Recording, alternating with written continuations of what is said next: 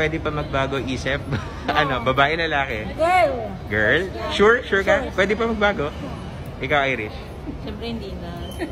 Ano? Boy, boy. Gusto Boy talaga? Boy. Oo, gusto ko boy para kay Glenn. Ikaw, bro? Ano yun bro? Babae, lalaki?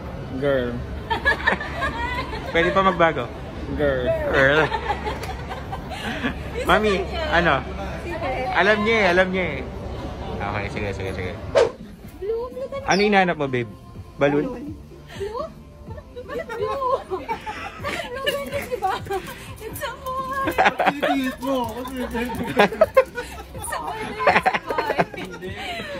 It's a boy! Ku- kunin mo na, babe. Seryoso? Kanin ka na? Ah, kunin mo na. Ay, ah!